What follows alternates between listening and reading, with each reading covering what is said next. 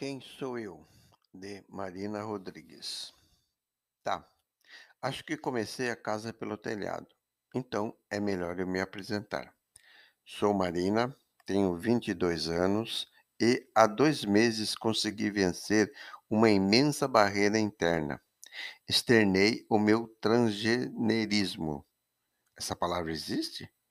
Se não, vou usá-la mesmo assim para definir o meu atual estado de espírito.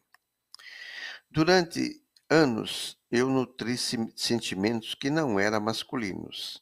Eram coisas que apenas uma mulher poderia entender. E não poder entender esses sentimentos em sua plenitude mutilava a minha alma, pois coisas que eu almejava desde minha tenra infância eu não podia externar, por medo de represálias, de chacotas. Antes de ser marina, fiz muita coisa. Estudei para ter um pouco de senso crítico na minha mente.